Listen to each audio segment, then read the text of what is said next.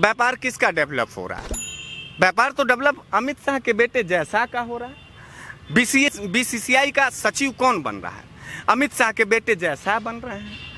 अच्छा राजनाथ सिंह के बेटे को कौन सी नौकरी की ज़रूरत है? वो तो एमपी एमएलए बनेगा। रामविलास पासवान का बेटा तो राष्ट्रीय अध्यक्ष एलजेपी का बनेगा। भारतीय जनता पार्टी के जितने सांसद मिनिस्टर और विधायक और जिला पंचायत अध्यक्ष लोग हैं, उनको कौन से पैसे की ज़रूरत है? उन्हें नहीं समझ में आ रहा है इस बात को। इसलिए वो देश में सत्ता पक्ष और विपक्ष को डिवाइड कर करके हमको भूखा रखना चाहते हैं। पूरा देश इस समय रोटी के लिए तड़प रहा है पंकज जी। कहीं भी रोटी नहीं है।